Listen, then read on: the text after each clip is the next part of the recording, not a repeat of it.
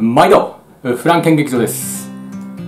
最近ですね、まあ、今日はまだ大丈夫なんですけど、まあ、こちらの方も梅雨入りしだしてきて昼間はね、まあ、ちょっとジメジメしてちょっとまあ暑苦しいなっていう日が、まあ、ちらほら出てきてるんですけど、まあ、そういった中なんでね本日はちょっと爽快感のあるものを作っていきたいと思います。名付けて、え冷やし中華まあ、冷やし中華って何ですのっていうところなんですけどまあ、一般的な冷やし中華にちょっとアレンジを加えたものということで冷やし中華と名付けさせていただきました。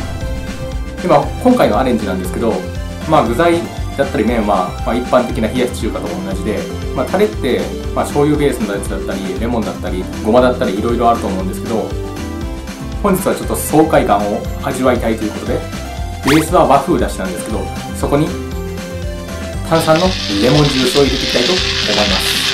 まあ、いつもフランケン劇場の動画ってどうせ美味しいんだろうっていう風に思われながら皆さん見てるかもしれないんですけど本日は正直結構際どいとこを攻めてると思います。この動画を機にね、まあ、世間に広まったりしてひょっとすると冷やし中華大分けするかもしれません。それでは作っていく。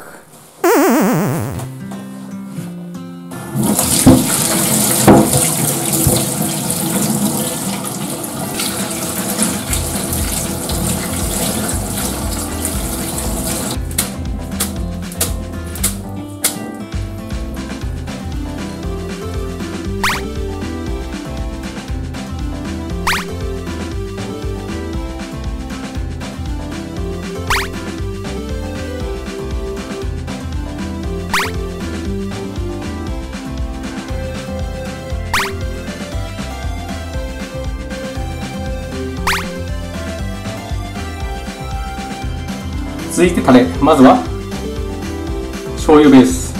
和風めんつゆです。これをまあ二回しぐらい。濃度2倍なんでちょっと薄めで使うようなだしです。続いてコンビニとかで売ってあるシーゼンビタミンレモンです。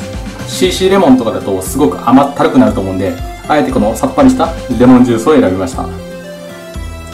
この炭酸水がどう生きるかなんだよな。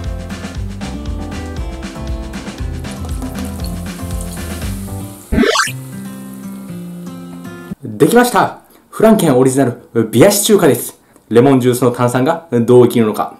それでは、いただきます。これは混ぜた方がいいのかな？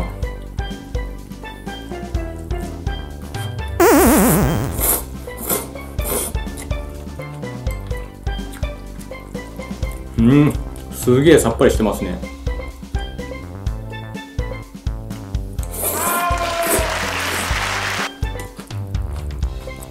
正直なところ炭酸感は全くなかったです、まあ、さっぱりして美味しいんですけど炭酸感は全くなかったです。食べて炭酸水は分からなかったんですけどタレ自体はどうなんでしょうか。あもう炭酸飛んでます。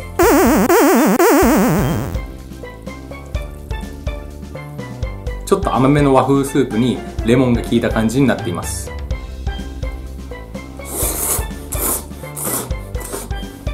イメージではねこう食べた時にシュワシュワして美味しいのかなと思いましたけど残念でした。もっと炭酸のは炭酸？食べ物と炭酸合わせたら炭酸飛ぶのかな？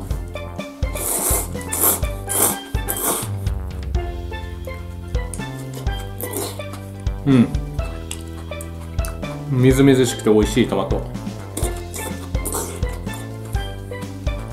続いてこのレモンの果肉ですね。これを絡めて食べていきたいと思います。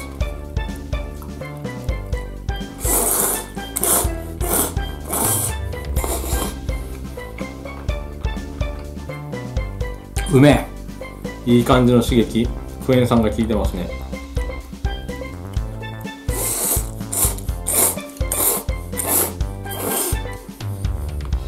あの今回ベースのタレがまあうどんとかそうめんに使うような和風のだしだったんで香味油がないのがちょっと寂しいかなと思って白ネギを油で軽く炒めて盛り付けたんですけどまあそのことによってねすっごい風味のバランスがちゃんと取れてます。うまい。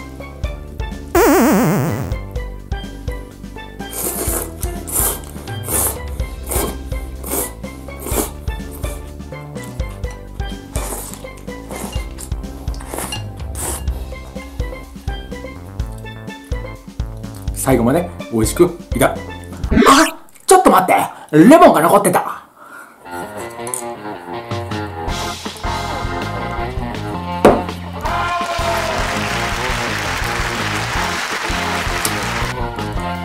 はい。最後まで美味しくいたああちょっと待って。水漏れしだした。あちょっと待って。配管が詰まった。誰か誰か。誰か誰か。ストレーナー掃除してストレーナー掃除して。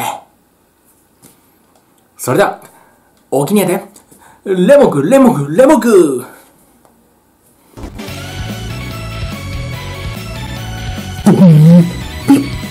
ワン、ツー、スイッチゴー。